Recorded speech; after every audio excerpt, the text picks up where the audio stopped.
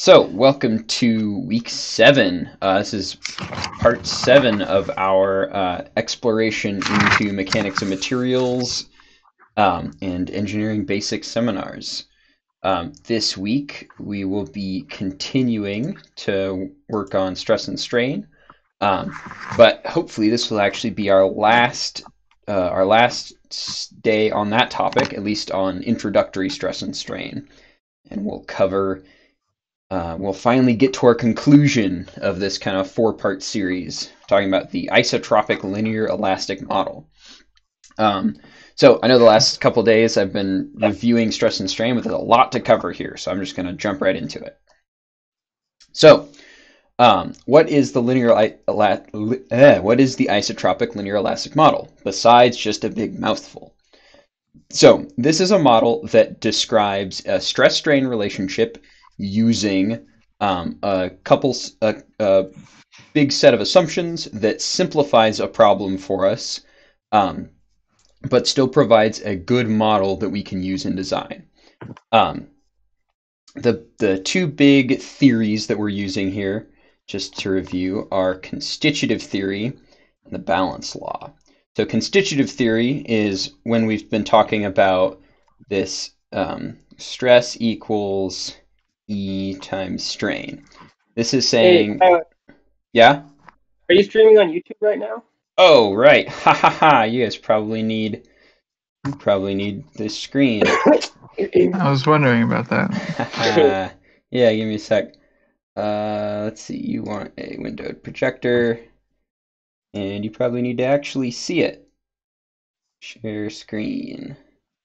You want this one. There you go. Now can you guys see it? Yeah. Or yeah. All right. Cool. Um. So yeah. Uh. So we're this week we're talking about con- um we're talking about the this theory as a whole. Um. This this theory is made up of kind of uh, some more simplified f- assumptions from physics. Um, First part is the constitutive theory. So we're saying things, real stuff, is made up of um, is made up as if it were a spring. Um, we model it about like Hooke's law, and we say that all this material is going to stress according to um, how much it strains. So remember, if we if we were to to make this look like Hooke's law here, um, if we were to, to make the analogy with Hooke's law, we would say F equals Kx. And if we divide all these things by air, if we sort of normalize these by area, um, then it turns, it looks like our stress strain relationship here. Um, the other big assumption that we make is that our material is hom homogeneous or homogeneous. Um, what that means is basically it's all made up of the same stuff. Um, or if it's made up of different things, we treat them differently. So we're saying that in this block of iron, we don't really care that there's some that there's different crystals in different places that technically do slightly different things. We're just saying this whole thing, all of this here is iron, is Fe, and we're saying it all behaves like in one way, in the way that iron does. Um, and then if we have something that's made up of two different materials, so if we have iron here and we'll say copper here, um, then we actually have to analyze those two things separately. So we have one set of equations and constants for iron and one set of equations and constants for copper. Um, this is this is where this idea of the material being isotropic comes from. So tropic, um, whenever you hear this ending, tropic is topic talking about how the material reacts reacts to stimulus. So um, are assuming that everything reacts to stimulus in the same way. ISO is um, another way of saying that they're the same. Um, so for example, if we take if we take a, a block of iron, let's say uh, we've got a we've got a cube here. I can turn this cube on any of the faces. I can rotate it. I can rotate it in any direction, and I would expect it to react in the same way.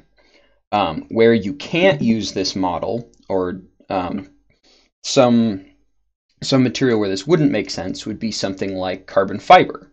So if you have if you have a carbon fiber panel, right, um, you can pull it and stretch it in these directions. You can you can try and deform it along the um, along the directions that the fibers are in. But if you try and deform it in plane, so if we look at this as a really thin sheet, it deforms really easily in another direction, and it'll actually fracture really quickly in that other direction. So something like a carbon fiber plate, or even like a piece of spaghetti. Um, a piece of spaghetti, if you pull it in one direction, it, it'll react a lot differently than if you push it. Um, spaghetti is actually something that's much stronger in tension than in compression. Um, so we we approximate iron as being something that reacts equally in every single direction. Um, and for this reason, we can't use something like the this isotropic model for uh, for carbon fiber. There are other models that we use for carbon fiber. Um, we might get into those later, but that's actually not even something that you get into um, in your regular design classes. Um, that'd be something like uh, something like 401, uh, where you're really talking about more advanced nonlinear designs um, or non-isotropic materials, um, where you start to do analysis with those. So that's the first part, isotropic. The second part, linear. So what does it mean for a material to be linear? Um, I'm sure by now you've at least heard of a stress strain curve. So this is an example of a stress strain curve. What this does is you're, you're literally just plotting the amount of strain versus the amount of stress. Um, this equation here, this equation here describes the region on this stress strain curve that acts in a straight line. Now, this, if we do rise over run, right, this should be E over 1. So this is strain.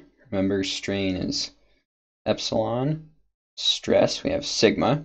So if I were to write the equation for this line, or the, the equation that predicts my, my material, um, how my material reacts, you would get sigma equals E epsilon. Um, uh, a graph like this is something that's determined empirically. So whenever you hear us talking about in, doing an instron test or um, doing a bend test, what what we're doing is we strain the material a little bit. Um, we strain the material. We either apply a known force to cause a known stress, because remember we we typically think that we know what the what the cross section or what our if if we have a test piece, say we say we use a, a regular ANSI test piece, kind of looks like like a, a two-sided shovel like that. We know the dimensions here, so we know the area. If we apply a force, we know what our applied force is. Then we know the stress, um, and then we can just measure the strain with something aptly called a strain gauge, or basically just a really, really sensitive ruler. Um, so you're just measuring directly the change in length, so the delta. Um, so this this curve, this graph here, shows kind of how um, how we expect isotropic materials to deform. Um, for something like steel or even plastics, you typically get this you get this region that we describe as the um, the linear region. This is the region that we design things for. Um, the, that you typically design things for because in this region we expect the material to bounce back. So this is this is also known as the elastic region. Um, this would be everything up to I guess uh, technically it should be everything up to the yield point. So up to the point where it yields. So in this elastic region, um, just over time through the last hundred or so years that people have been um, really applying this model, doing engineering with it, we we see that materials will tend to return to their original shape if you only bend them up to a certain point.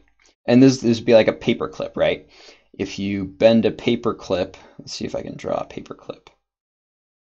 Uh, it's kind of a paper clip. I guess it needs another another loop around, right? If you bend a paper clip, if you bend this out just a little tiny bit, right, you'd expect it to spring back. No big deal. Or if you put some paper in there, you'd expect it to spring back to its original shape. But if you if you bend this leg all the way out here, you wouldn't expect it to return to its original shape. Well, we now say that it, the material has yielded, or it is it's become permanently deformed. Um, so this this point that we define as yield stress is sort of the point on this graph where um, if we deform it anymore, if we have any more strain, then the stress is no longer linear.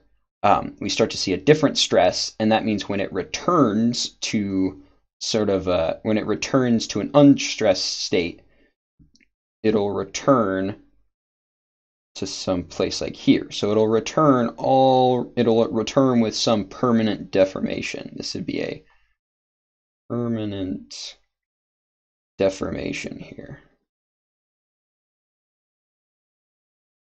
Um, so that's what the that's what the yield stress is. So in our isotropic linear elastic model, we're saying the the material behaves elastically, behaves like a spring. It behaves in the same in every direction. Um, we're, we're assuming it's something like iron or a metal or a plastic. We're assuming it behaves linearly, so it follows this equation. We can predict it. And we're also assuming that it returns to its original shape. Um, when we choose the material that we want to design something out of, we choose it for its, well, oftentimes we choose it for its yield strength, or we, we choose it so that the stress that we predict it will see is only um, is below this point of yield stress. And usually we want to keep it a good distance below. We want to have a good a good factor of safety to make sure that we we don't permanently deform the material. Um, a couple of other interesting points on here are the ultimate strength and the, the fracture strength. So ultimate strength would be um, ultimate strength is essentially saying the highest something can the highest we can stress something before we see um, before we see a rapid decrease in uh, a rapid decrease in strength. So um, usually, uh, so this this diagram here is actually pretty. Um, it's uh, pretty exaggerated. Oftentimes, the ultimate strength and the fracture stress are really, really close together. So the ultimate strength is the highest measurable stress that we can put on something before it starts to give way. Um, and a lot of times, this uh, this part of the graph, this is where, if you remember a couple of weeks ago, we were talking about necking, where rather than actually stretching the material out, you start to reduce the area. The material starts to pull in, which is why you see, in theory, a reduction in stress. Um, your your material starts to give way, um, and your uh, you see that necking, that that material failure basically starts to set in. And then fracture stress is exactly what it sounds like. It's where your your two pieces actually sever, they separate. Um, so you you physically separate the two the two sections from each other. Um, but we usually in engineering we try and stay out of this region, or we at least try and stay far enough away from this region that if we ever get here, um, something else more important has been triggered. So some alarm, some other something weaker that we intentionally wanted to fail first um, or something of that nature. Uh, there is there is a type of engineering Oh man, I couldn't think of it last week. I had it on the tip of my tongue and I forgot to write it down. Um, but there is a type of engineering. It's it's kind of uh, research level. Um, a lot of like PhD candidates right now are talking about it, where you actually design in this non-linear region. So you you design for compliant materials. That's what it is. Uh, compliant design. Things things that you expect to deform. Um, you design for them to deform beyond their uh, beyond their linear elastic region. So we've covered what makes it isotropic. Everything moves in the same direction. What makes it linear? We're in this region of the graph. It's elastic because it follows Hooke's law and we expect it to stay following Hooke's law, so we never leave the linear region. And then model is because it is a model, right? We are making a, a whole bunch of assumptions here. Um, we are not calculating what the physical reactions should be, how the electrostatic and the, the magnetic, the electromechanic, or sorry, the electromagnetic forces between all the particles in here. Um, we're not calculating individually for each of those what's happening. This is a model. We're trying to describe, in general, the macroscopic behavior. Um, so, some of the assumptions that we make with this model are that boundary conditions are in, insignificant. So, um, a lot of times when you see uh, a problem like this, if we're if we're talking about oh let's just say we had that um, that axial problem that we did last time. Um, if we were to analyze the stress for this we would never talk about the stress um, kind of within within a, a small bubble around the uh, around the boundaries. The reason here is the, your loading conditions around this boundary if I were to to zoom in are start to become different, right? You have little moments that start to be applied here.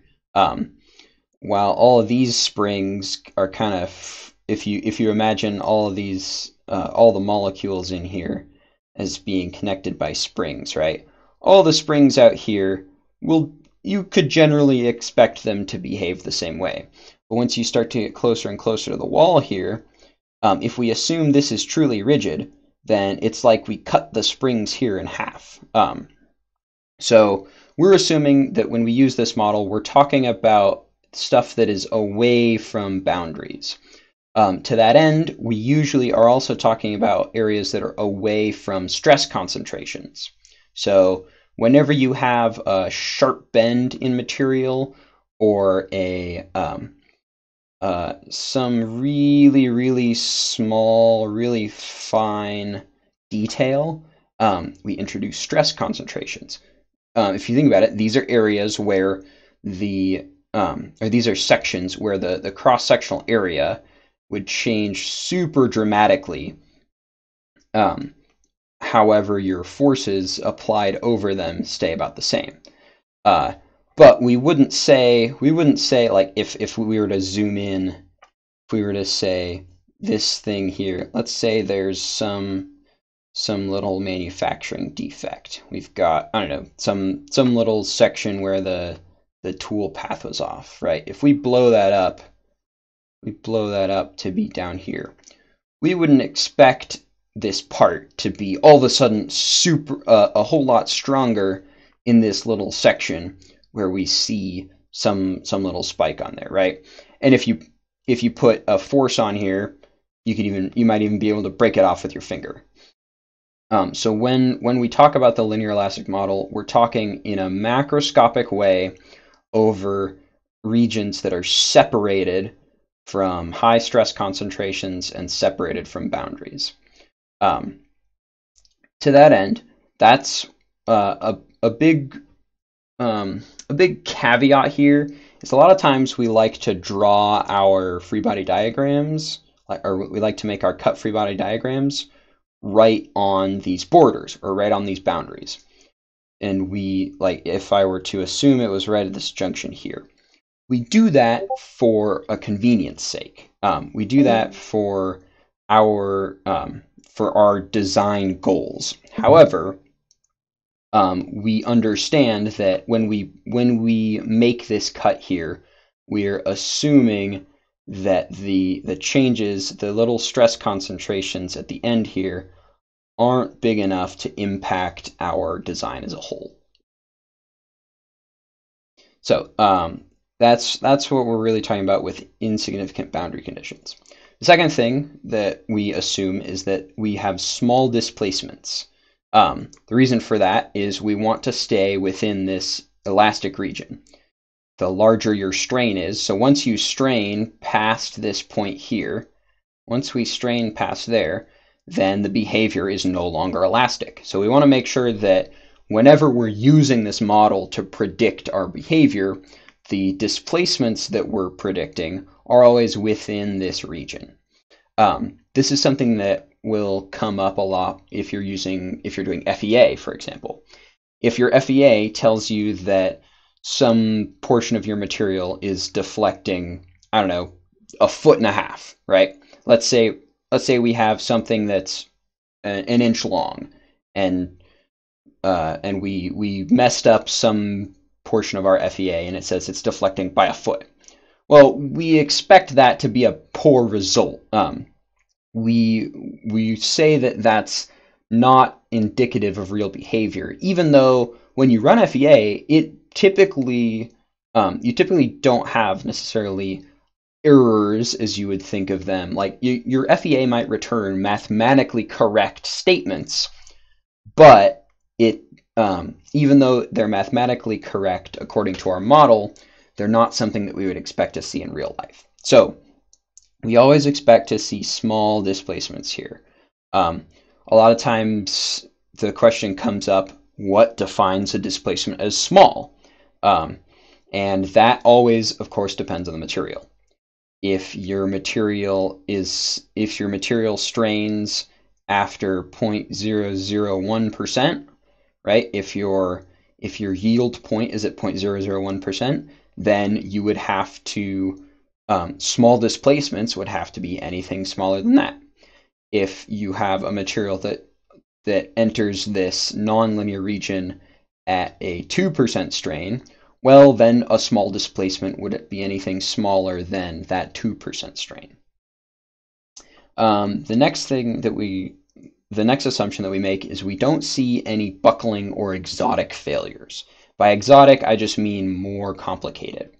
Um, so buckling, we'll we'll talk about buckling later on. Um, actually, probably in a, a couple of weeks. Um, but bump, buckling is essentially a phenomenon where if you if you have something really tall and really skinny, um, and you're putting you're putting a force on it like straight down, um, because this system is kind of unstable, as soon as you're slightly off, even if even if this is a really small angle, even if this is like, uh, you, let's say this would be like 89.5 degrees, right? Even if you're a really small angle off, because um, because you now have some moment arm here, um, you would kind of expect this to snap in half. You'd expect it to to kind of deflect like that. Um, so we're assuming that that's not happening. We're assuming that um, all of the uh, all the situations that we're going to analyze with this model are either far enough away from uh, the the dimensions are different enough that we don't expect to see this, or the forces are low enough that we wouldn't expect that to happen. And then there's other exotic failures too. Um, a fun one that we like to talk about this year was torsional buckling um, which is similar but crazy cool. Um, involves a lot of math that most people had no idea existed until they tried it. Um, there's also there's also um, like layer shearing. Um, there's grain uh, there's grain failures. There's um, there's uh, uh, fatigue failures. We're assuming none of those none of those failures are going to be present. So we're we're just simply saying how is this going to displace itself and then return if we remove the, the force that we're putting on it. Um, the last thing, and this is uh, this is one of the one of the rules that we actually sometimes break when we're using this model is that we assume tension and compression act identically on our um, on whatever our material is. So let me go ahead and make a new a new page here. Um, something like concrete. Um, concrete is actually much much stronger in compression. It's much stronger in compression than it is in tension. Right? You can drive a car over a concrete bridge, but if you were to try to if you were to try to hang something under that bridge, um, yeah, maybe, maybe that's not a maybe that's not a good example, but um, right in a building, you see big concrete columns, you see big pillars made of concrete.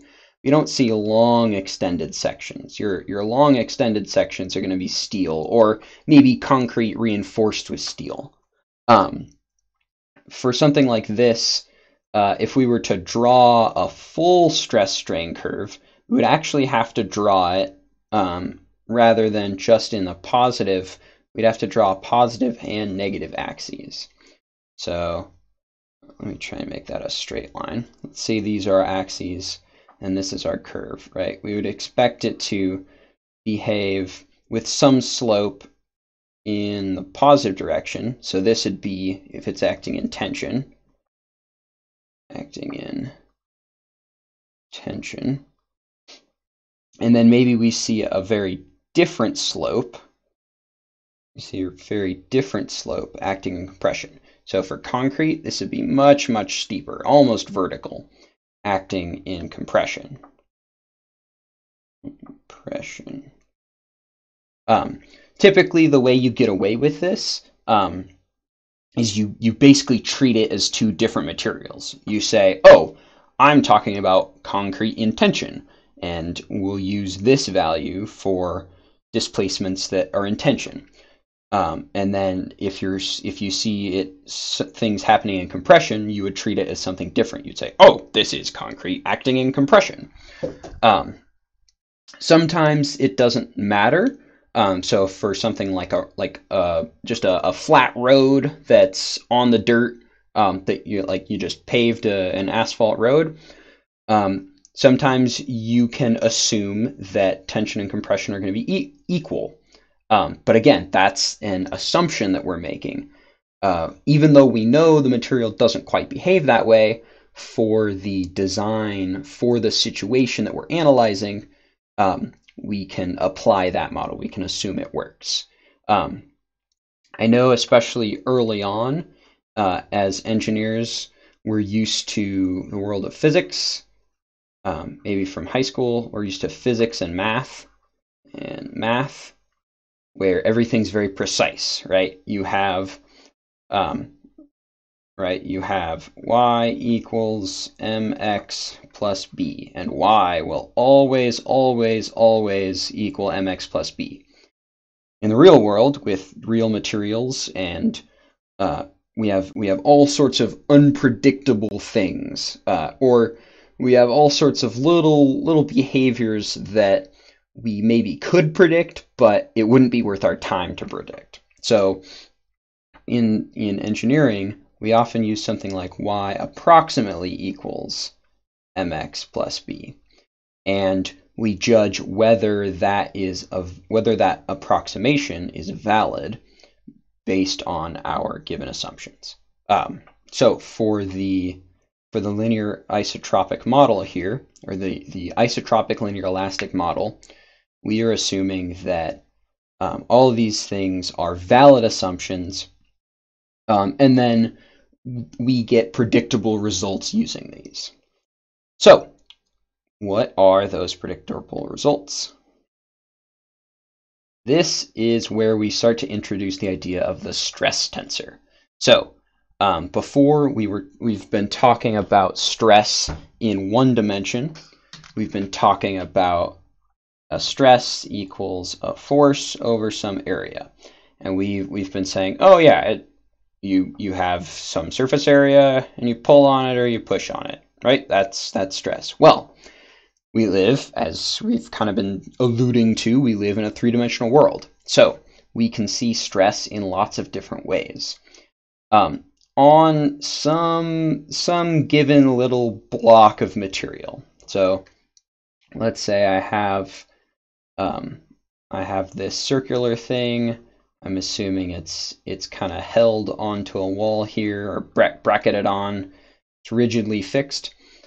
Um, I want to take just some little some little cuboid some just little tiny piece of material in here.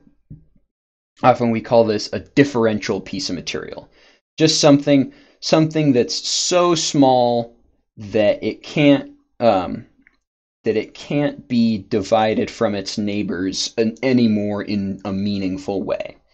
Um, this isn't to be confused with a molecule. So this isn't this isn't like we have a molecule like an iron molecule that behaves this way. And it's not even saying we have some crystal lattice pattern. It's not even saying that we have some crystal structure of iron, right? Um, we aren't we aren't chemists, although we care about the um, although we care about this crystalline pattern, although we care about those smaller structures to sort of uh, inform our predictions, the math that we're doing applies a little bit larger than this scale. So think of the dimensions of this cube as just slightly smaller, just slightly smaller. We'll call this differential, this differential distance d.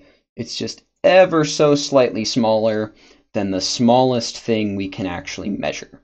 So if I, I break out my, I don't know, um, I break out my Micro-Vu my Micro-Vu um, optical comparator and I I zoom my microscope in super far and even on that optical comparator, right, I only have lines that are this big. And we're saying it's it's a little smaller than we can actually measure. So it's fundamentally the smallest block of material that we can think about.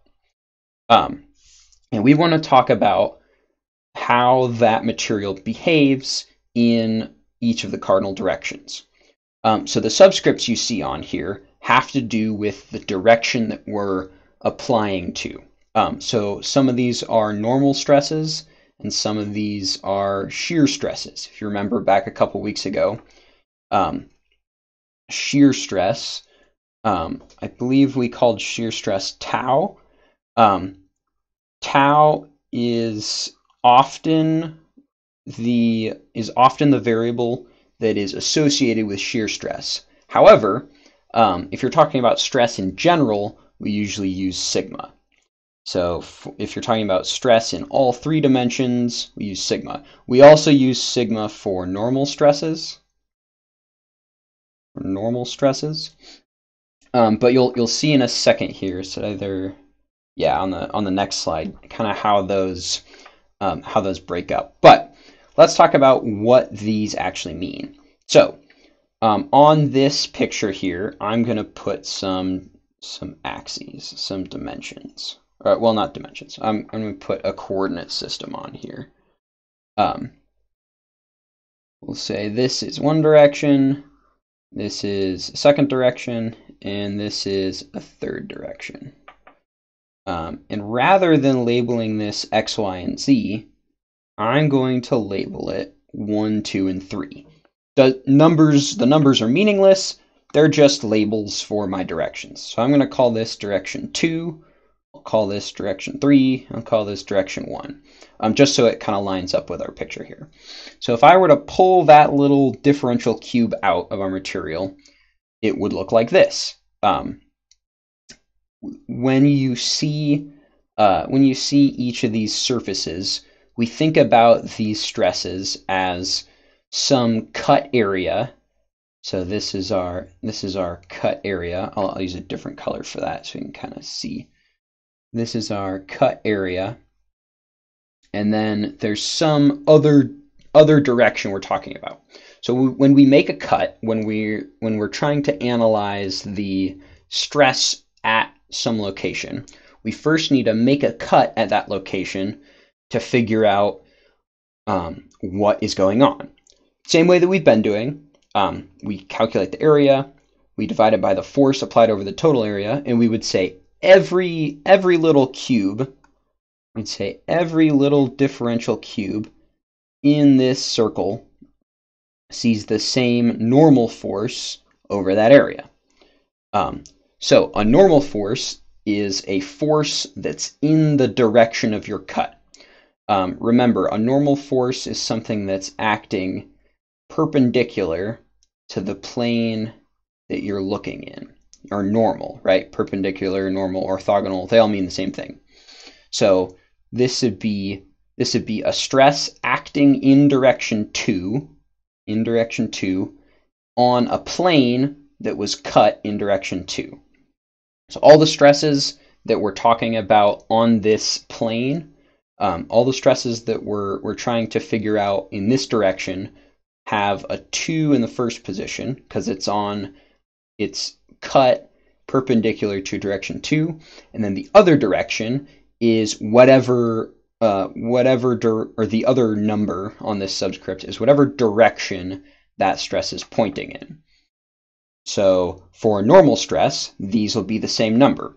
This is, we made our cut, we made our, our cut for analysis in a, in plane two, or if I were to put letters on here, maybe this would be the x plane. Um, and then I'm talking about the normal force, or the, which I'm talking about a normal force in this plane, which would be a normal force in direction 2.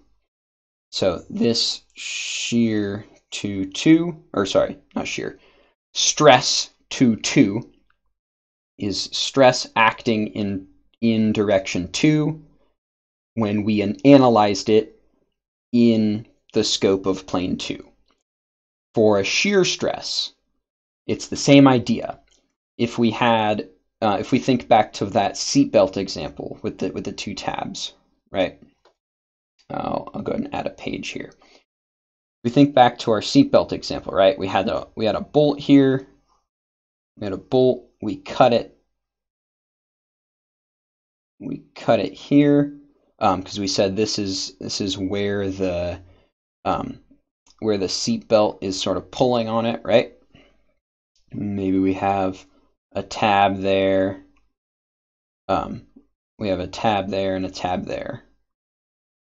So we are analyzing it in this plane. This is the, the plane where we cut our body to figure out what's going on.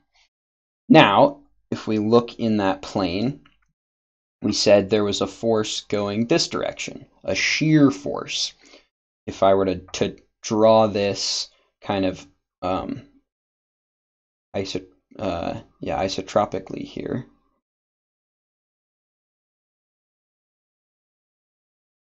or sorry, isometrically. Um, oh boy, that is about the grossest bolt I think I've ever drawn. we'll make it, try and make it look less like a mushroom. There, pretend that's a, that's a bolt. Maybe we've got some, uh, I don't know, whatever. That's a bolt. this is this is our, our cut plane that we're analyzing, and our force is going in this direction now. So we said the shear stress, we said the shear stress tau is still equal to the force divided by the area, but it's just a force acting in a different direction in this plane. So if this is direction x, let's say this is direction y, and this is direction z, we would say that our shear, this is shear in the x-plane, because we made an x-plane cut, is now acting in the y direction, because the force that we see is in the y direction. We'd say that equals Fy over the total area. Um, and the reason that we, we can, for each of these little differential elements, you know, we have all these little all these little squares, all the little cubes in there. The reason that we can still use this model for all those differential elements is they all take up some little teeny tiny area but when we add them together, they make up the whole area that the whole force is distributed over.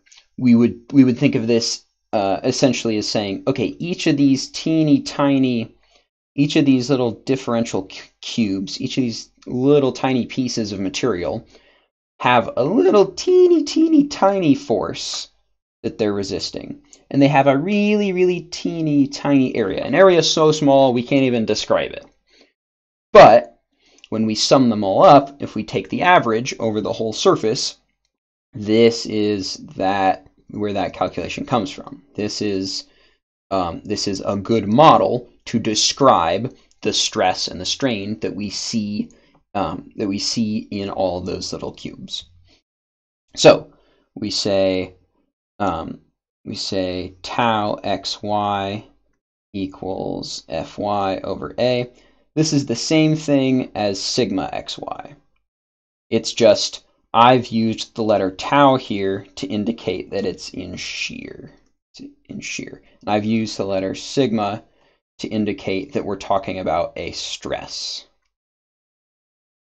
Um, if we move on to here, uh, one thing you'll notice, uh, so I guess uh, let me let me backtrack just a little bit. So we talked about those in one direction.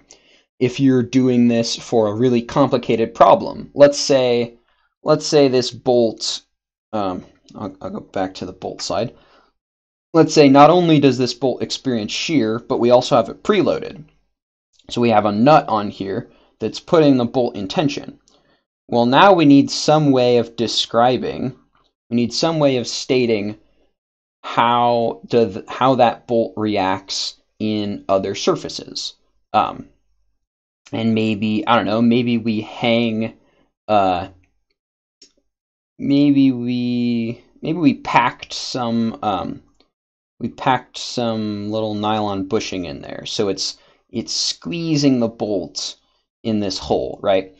For some for some little thing here, well now you've got now you've got in this in this one little area, if I were to, to sort of pull that little piece of material out, you now have a lot more going on. You have a compression in this direction, you have a tension in that direction, and you have a shear in this direction shear in this direction. Um, and this shear is acting just in this plane. Um, if we have a shear, right, the the big difference, if you remember back a couple weeks, the big difference between a shear force and a normal force is this is acting unsupported.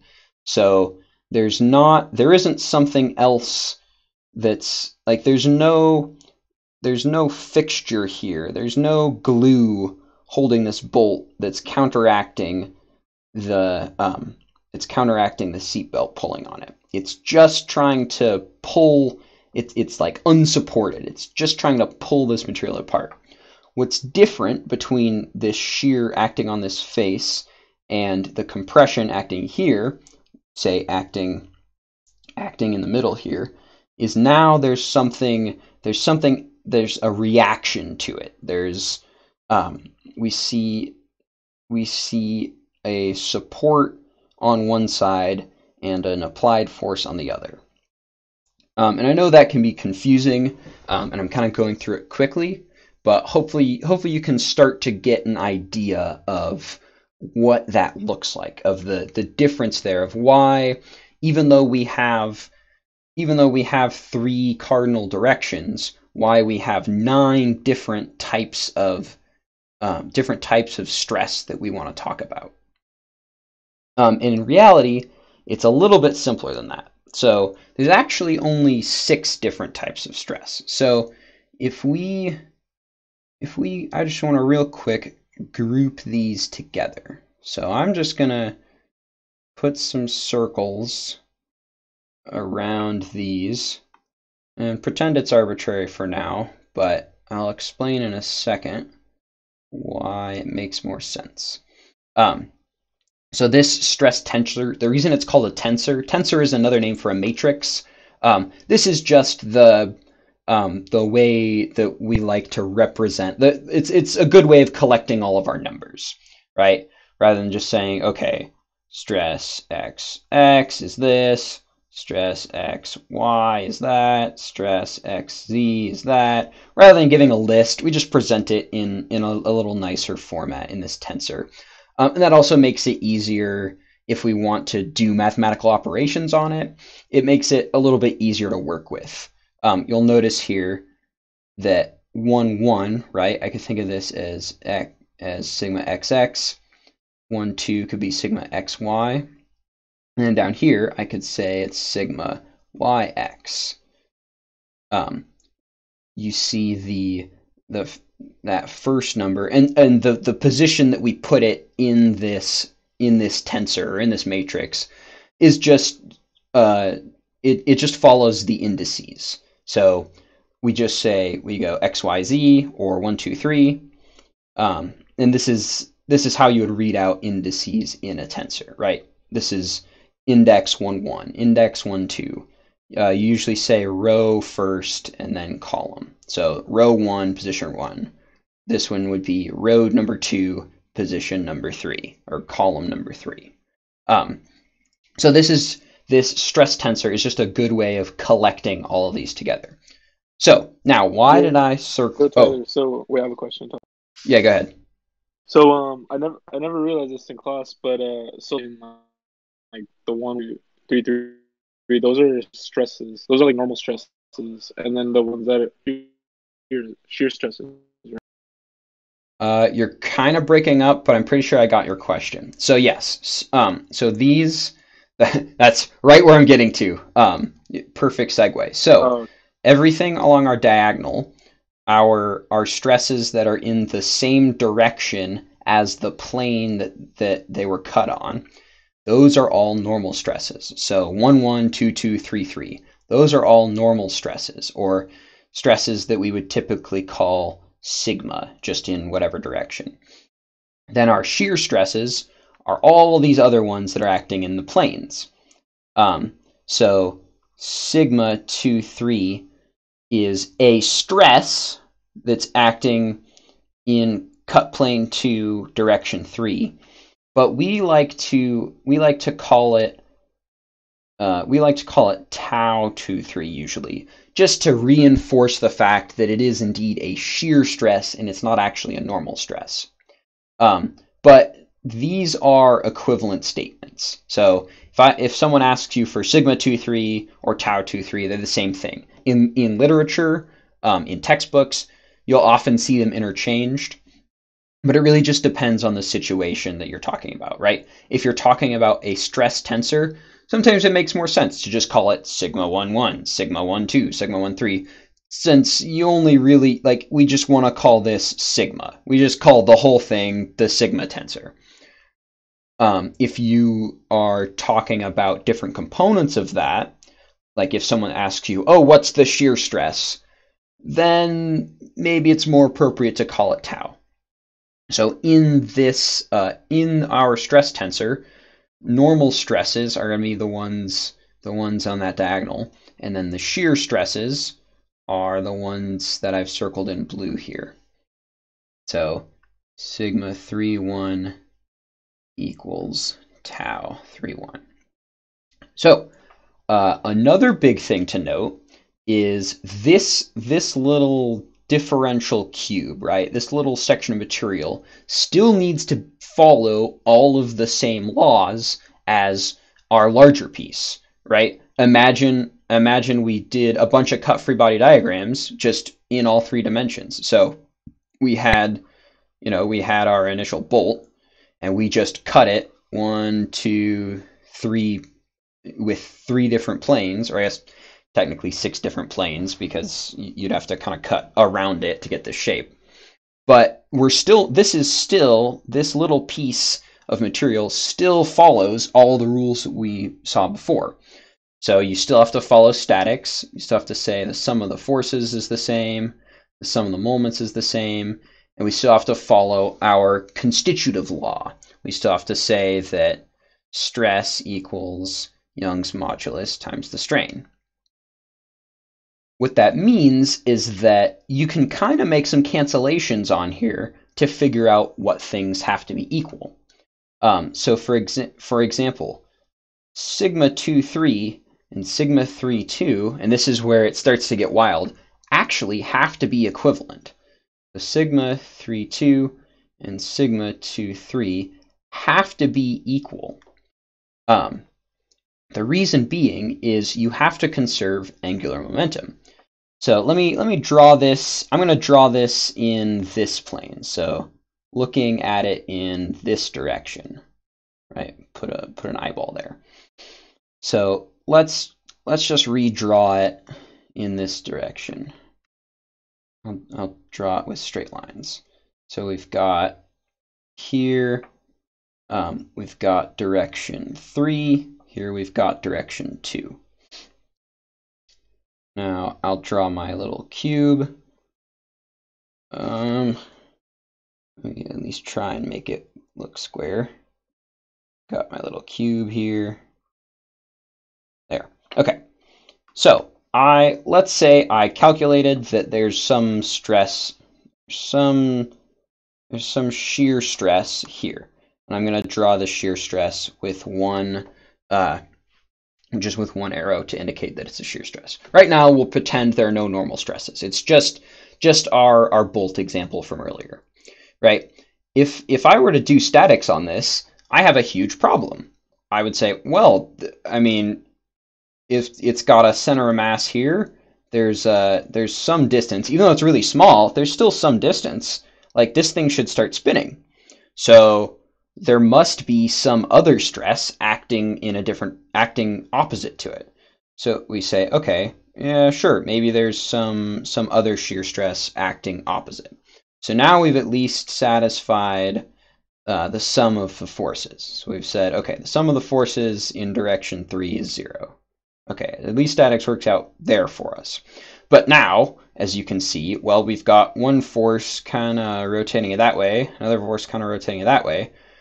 Oh shit, our our little our little block is now going to start rotating. So um, I've got to say, well, there's got to be some other something else acting to avoid that. So I'll, I'll draw another thing and I'll say, okay, let's just say this is I said this is a square. So this this direction, this dimension's the same, and this uh, this the magnitude of this stress. Because remember, stresses at the core are forces. We just say they're applied over an area. So because these are all the same side lengths, these are thought of as forces. So I've got some stress acting now in this plane. So this would be this would be stress two three this one would be stress 3, 2. This one is minus stress 2, 3. Um, and then if I, I'm going to draw another one on here is minus stress 3, 2. Um, so now, now I can see, okay, um, now that I've got uh, another stress here. I have to balance it, which is why the, the reason that I drew this one at the bottom was to balance it in direction 2. So now I have the sum of the forces in direction 2 is 0, and the sum of the moments is 0. So I've got these two that are kind of acting to rotate it clockwise, and then these two that are kind of act, forcing it to rotate counterclockwise. Um, so in order for this, in order for our little differential, our, our little teeny tiny block of material to behave according to the laws of physics, according to um, according to Newton's first three laws, right? We have to have a shear on all four surfaces in order for this to be in equilibrium. Um, the so this minus sigma 2 3 and minus sigma 3 2 we usually don't draw them uh, we usually don't talk about them because it's implied it's understood that they exist um, it's understood that they're there but it's uh, since we know that they're equal magnitude we we don't care about them necessarily um, another interpretation of this another another reason that you might see these like one acting in one direction and one acting in the other direction. Another reason that you would see that happen, right? If I if I go back here, um, if I take a one section here, um, let's say this is that section, right? I'm going to cut off, I'm going to remove this part here, I'm going to remove this part here. So if there is, if there's a force, we've got a force acting here, then from from earlier when we said we had our, our free body diagrams, our cut free body diagrams, I would expect a shear acting in that direction. Because the reaction here has to be equal and opposite, I would expect a shear acting here, right? Equal in magnitude to the one on this side of the cut plane. So we'll put a, a cut plane in there. I would expect this one to be equal and opposite to that one. If we make if we put in that second cut plane, well, we would expect there to be an equal and opposite shear on here too. But we take this this middle free body diagram, we do statics, we do our statics on it, we say, okay, there has to be a shear here, which means there has to be a shear acting in this direction on the other one. Now, as we move these two planes closer and closer together, we move them so close together that we get this distance. We eventually get our planes so close that they're at this differential distance d. They're as close together as we can possibly think of them before we really just say they're in the same place. And you can see from this example, well, they have to be pointing in opposite directions. And the the direction like which side of the of your cut plane you choose to analyze is arbitrary right? It's something that we've chosen. We've decided i'm interested in looking at it from this perspective because it makes it easier for me to think about. So that's why we usually just talk about the positive side on here we just say i care about stress 2 3 i care i made my cut plane here I made my cut plane in direction 2, and I'm seeing it in direction 3. I don't want to think about it being negative. That's really complicated. That's, that's more than I care about. So we usually just don't talk about this side. But um, we still want to think about stress in the other direction, which is why it's represented in our stress tensor, because we could make this cut in any plane. So we still need some way of describing it in the other plane.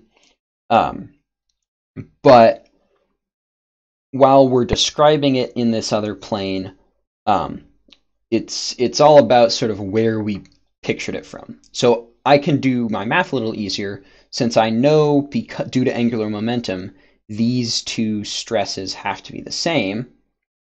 Um, when I when I broke it down to as smallest as it could be, I now only have to worry about six of the nine entries in the stress tensor because this one here, um, what's a good contrasting color there?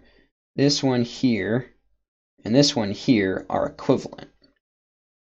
So at the end of the day, I really, I just have, I just have three normal stresses.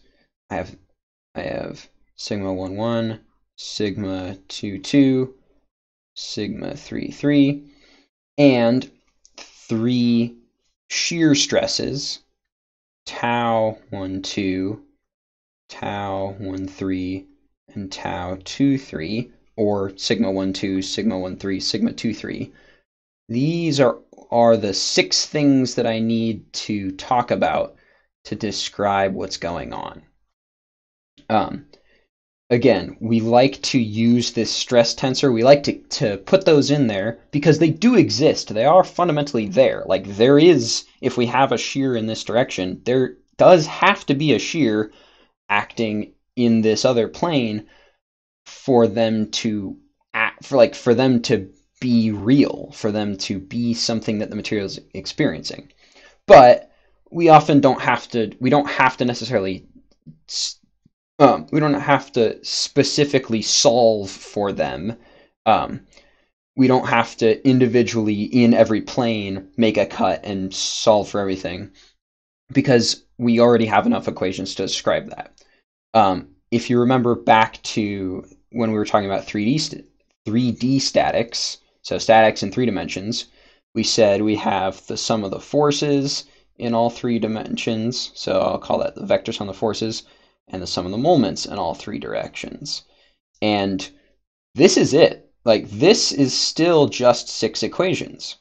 So this means we can only solve six unknowns with our six equations. And conveniently, this model, this model that we have, has six unknowns. It has these, these primary six things that we don't know.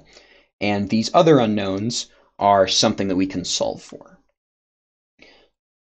So, ultimately, where that leads us is it allows us to talk about stresses and strains as one big old vector, one big giant vector here.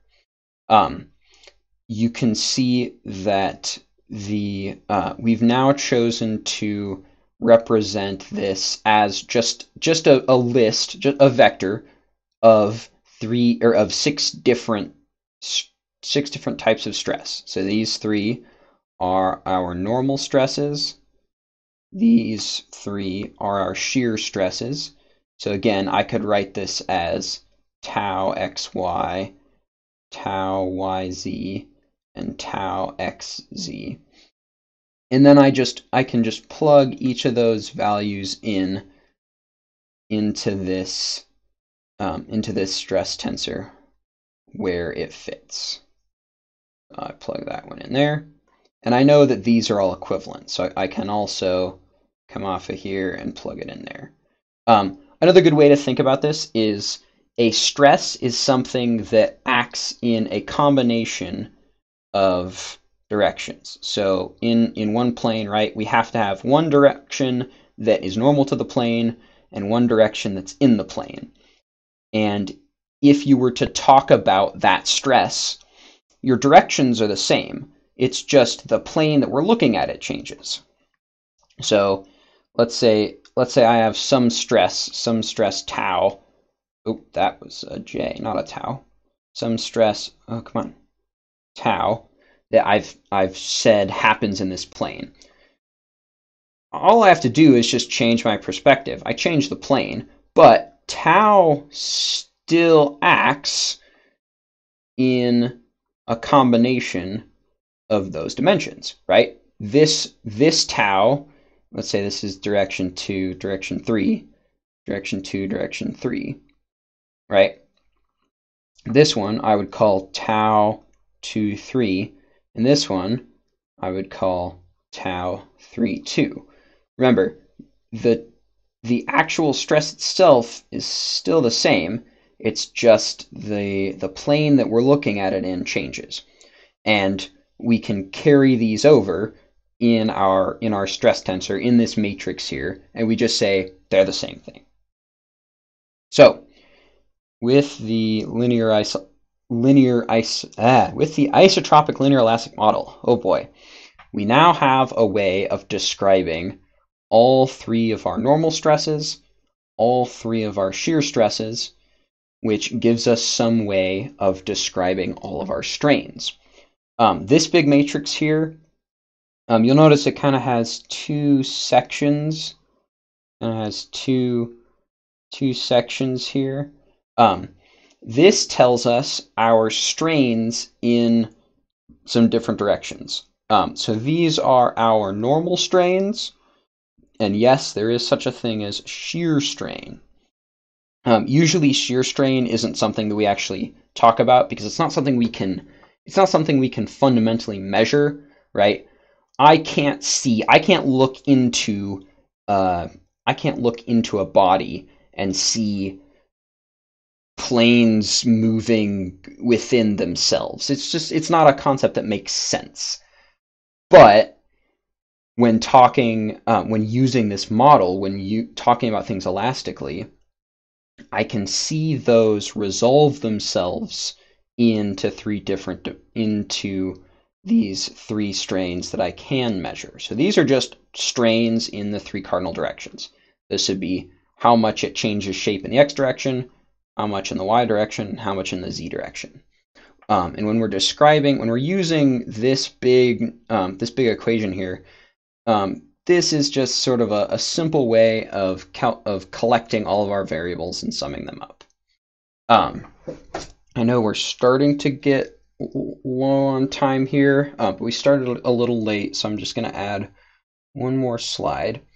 Um, so let's just take uh, let's just take um, I want to cover two more points. Um, are you guys okay with that?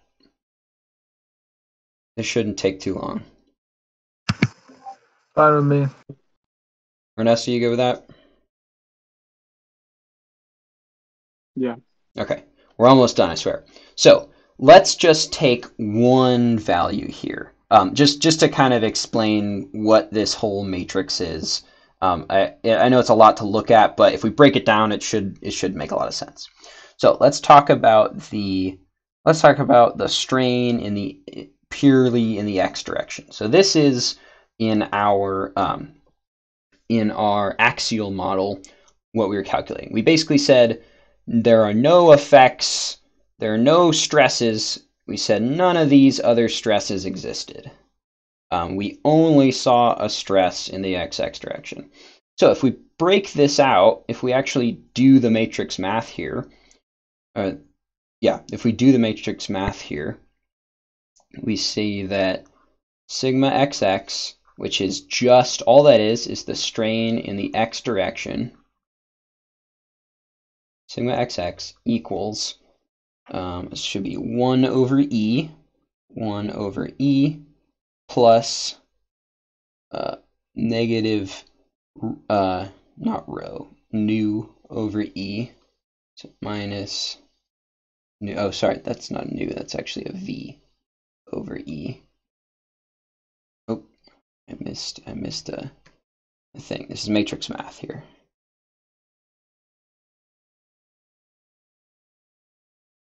So, matrix math. So we've got 1 over e times sigma xx times sigma xx plus, or sorry, minus v over e minus v over e times sigma yy minus v over e times sigma zz minus v over e times sigma zz.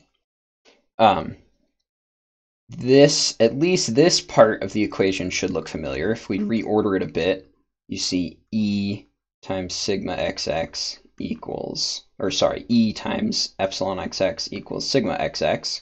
So this is just the, if I, if I erase the, the directions on here, right? This is just our definition of stress. So that part makes sense, right? We've got a stress in a direction. Um, or we've got a stress in a direction divided by Young's modulus. It's a strain in, in a direction.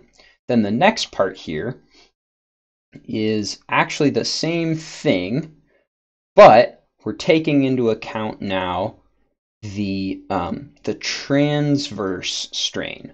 So this is this is when we were talking about Poisson's ratio.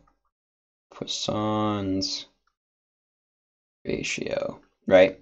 So we said let's say we set we said sigma e equals E times stress, and we said E transverse equals sigma times V.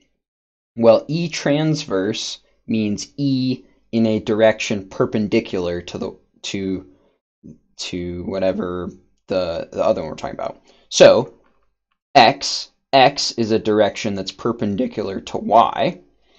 So if we kind of, if I put some, put some subscripts on here now, put y, y, y, y, and then if I call this y, y here, now E transverse, or sorry, epsilon transverse is epsilon xx, then I usually say this is negative because remember if we're um, if we're talking about transverse stress, we're usually talking about something shrinking, right? If I, I pull these two apart, if we see necking, this is going to shrink.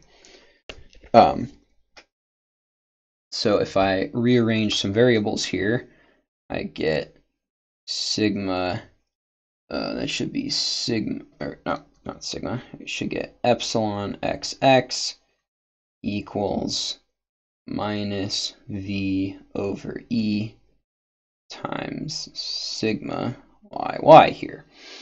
And now, as part of this, this long vector equation, we're just simply adding the amount of transverse stress that we expect to see onto our model. Now, for our simple example earlier, you know, this was zero and that was zero, so it didn't matter. We didn't have to worry about it. But if we had some more complicated loading scenario, we would we would see potentially some some effects from that that transverse behavior um, that we just add on to our main behavior.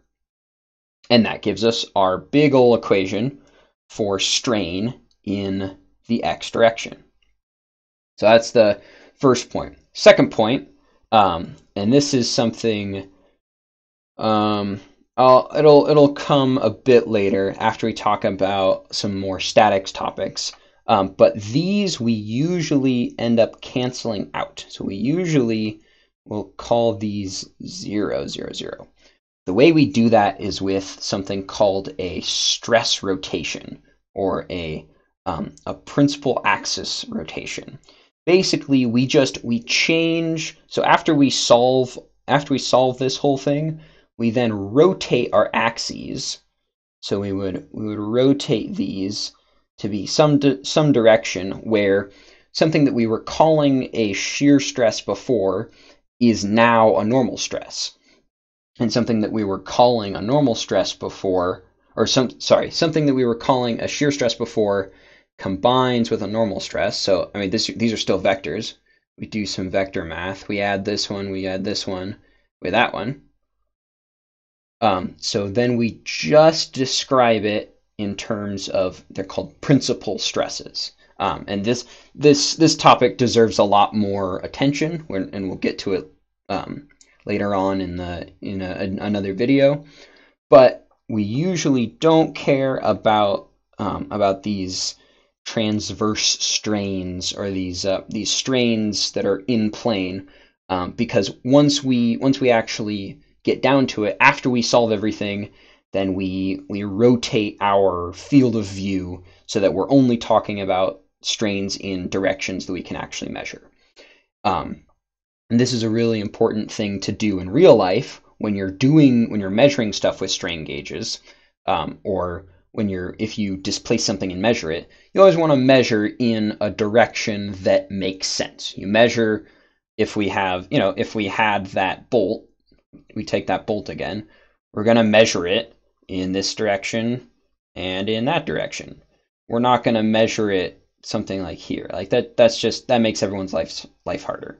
Um, and uh, when once we resolve sort of our once we resolve the scenario, once we figure out the directions that everything's acting in, um, then we can say, okay, this is how we expect it to behave. So, in recap, um, talking about the linear iso the isotropic linear elastic model. Um, this is based on a combination of constitutive theory, so this idea that that materials that we can analyze, um, common materials like steels, plastics, even wood to some extent, will act um, will act just like a spring. They're all made up of the same stuff, and they react the same in every direction.